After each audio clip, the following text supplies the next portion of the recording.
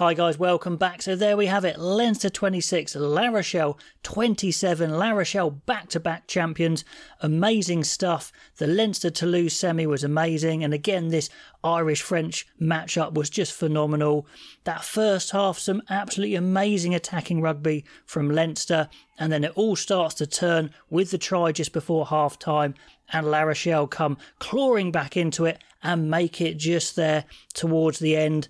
I like to tell the story of the match, the emotions of the match, and try and pick up some of the key technical aspects as well. Now, not even one minute on the clock, and Leinster start with a bang. It's a short clearance from Dulin, and Leinster call a short line out, and it is a peach of a line out. Conan's hiding at the back of the line out, peels around the lifter to the front, takes it short, throws it back to Sheehan, who just runs in unopposed. Just a beautifully constructed line out. La Rochelle looking dumbfounded. 7 0. Burn slots the tricky conversion. It's the perfect start. A amazing start to a final. And Leinster aren't done that yet. They get straight back on it six minutes in.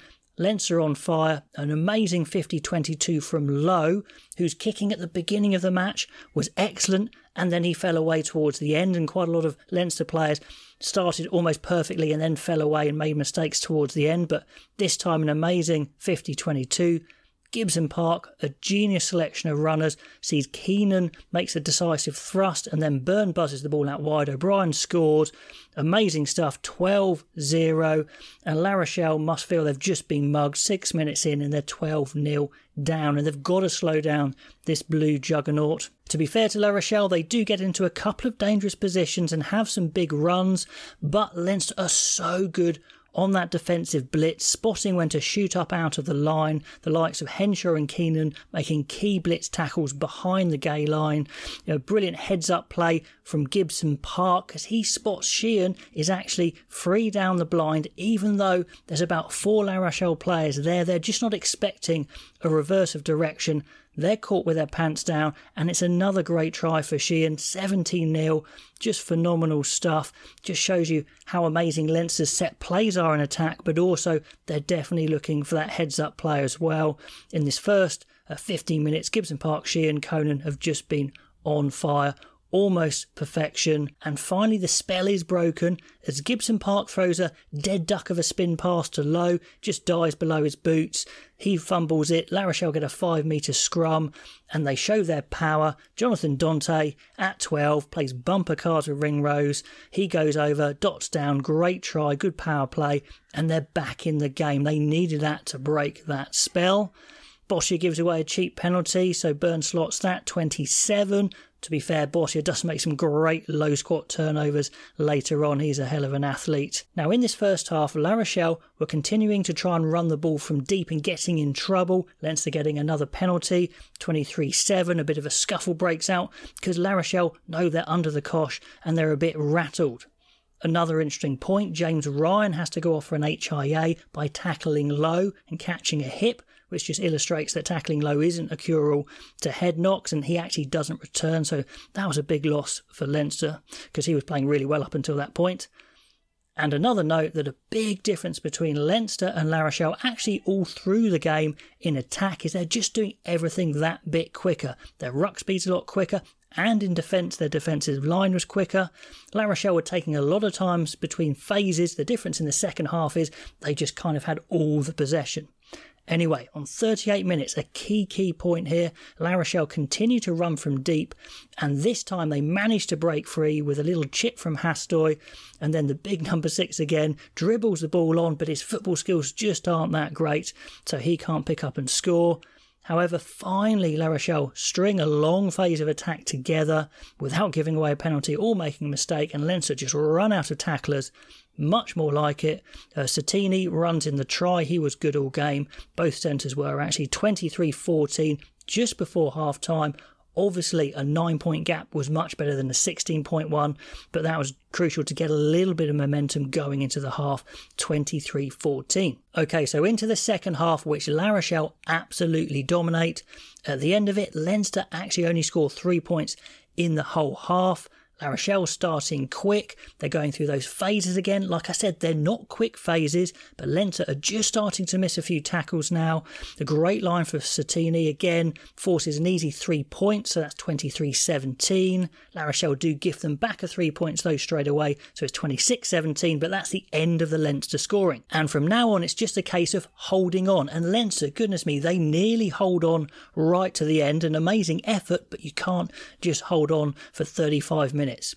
Anyway, on 48 minutes, Leinster form the world's longest caterpillar ruck. I do wonder if rugby authorities will try and stop that because it gets a little bit silly for the clearance. But Gibson Park is told very clearly the ball's taken back into the 22, but he still kicks it out on the full. And this starts you know, a real series of bad errors for Leinster that were costly. La Rochelle turned down a good attacking position from a penalty to get an easy three, and they do this a few times early on, so 26 20, and La Rochelle start to dominate the possession and, importantly, the territory.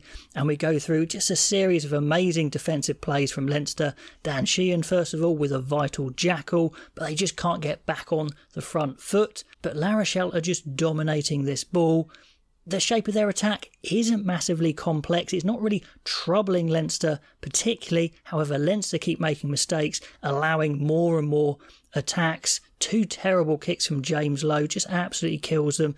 And in the second half, this was their problem. Whenever they got out of trouble, they were just getting themselves back into trouble as well. On 55 minutes, a shattering power maul from La Rochelle. And it looks to get Leinster in trouble. But Leinster do well. They concede ground without doing anything silly. Then they pounce, this time Van der Flier. And early on in the second half, the ref was very much on the side of Leinster. And only just towards the end did La Rochelle make that maul pay. Anyway, the next defensive play, which is amazing, is from Henshaw, who gets a great turnover. They finally get a good uh, bit of territory, but they can't build any possession. So La Rochelle straight back on it. It's just like Groundhog Day. More problems from the maul for La Rochelle just as they're thundering forward. And goodness me, that maul was thundering forward. So you're starting to think maybe Leinster can do this. They can keep holding them out. Then we have a massive period of play. Big decision for La Rochelle.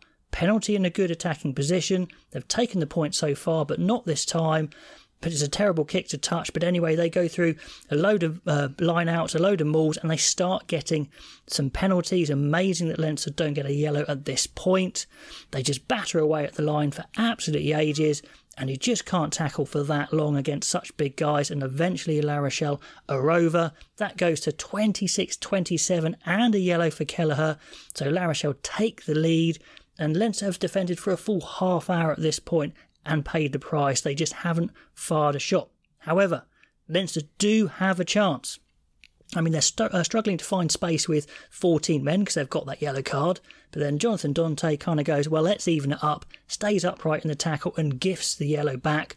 So it's 14 versus 14, and they get a great attacking line out from this. And I thought Leinster might do it here. They put some big faces together. Charlie Ngatai, who's on for Henshaw, powers through some tacklers, really impressive, right up to the line, but the ball just squirts out of the ruck right at the wrong time. Absolutely crucial error there. I thought Leinster might do it, but a shocking clearance from Dulin gives them one more attack, but the ref stops play for a nasty injury, but it's because Michael Alaalatoa of Leinster has flown into a ruck completely out of control, gets a head and head clash. That's a red card and probably loses the game for Leinster. Harsh, but no, probably true. So full time, 26 27. La Rochelle make that comeback, dominate that second half. Well done them, back to back Champions Cups. But you've got to say, Leinster will be absolutely gutted. They didn't need to do that much in attack in the second half just to try, just a couple more penalties, and they'd have got over the line. So, phenomenal, compelling final, each half completely different.